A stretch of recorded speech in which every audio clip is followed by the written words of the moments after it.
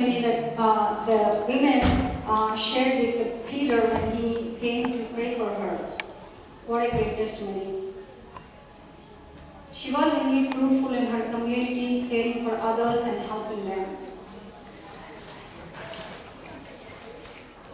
What is our role in our community, church, neighborhood, and workplaces?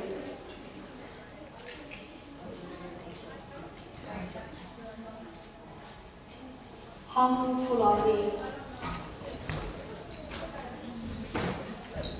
What can people say about us?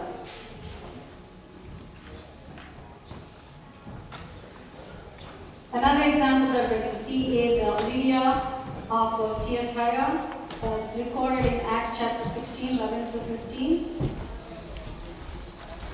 After her conversion to Paul, she invited Paul to her house where people presented, go- where Paul pres- presented gospel to her entire house and they were all baptized. She asked Paul to, uh, Paul and his team to stay after, uh, at her house and uh, in fact there was a uh, church at her house also afterwards.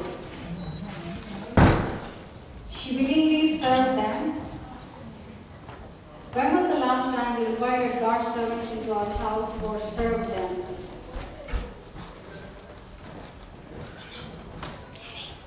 What kind the lost souls our family?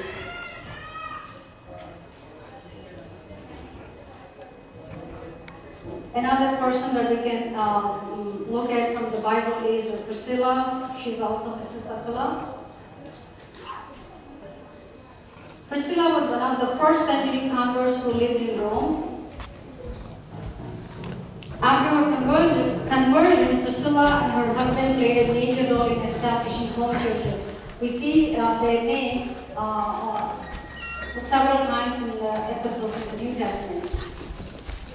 Even though she was busy during the day helping her husband make tents, we see in the New Testament what an important role she played in spreading the gospel. I'm sure she's way busier than us 21st century women.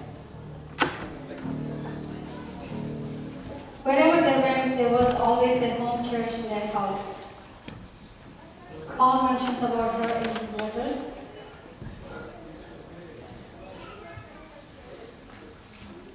And uh, anybody recognize these names? Mother and grandmother of Timothy played a major role in shaping his faith. Paul mentions about them in his epistles in 2 Timothy chapter 1 verse 5. Are we able to pass on our faith to our children?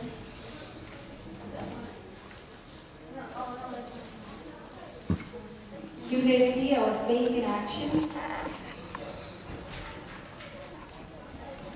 Do they see our fruitfulness in our daily life?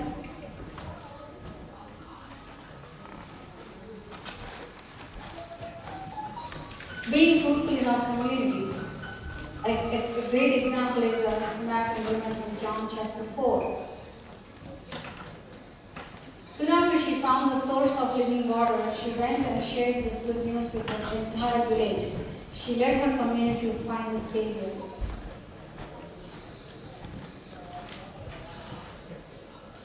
Do we talk about our faith at our workplace? What about our neighbors? How often do we share the good news with them?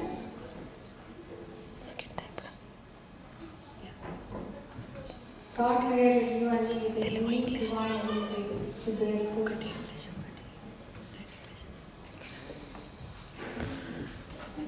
He is longing to see them in you and me.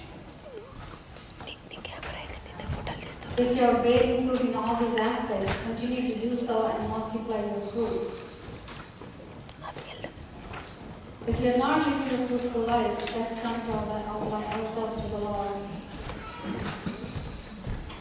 God chose to be and that our fruit should be lame. May God help us to live a fruitful life in Jesus'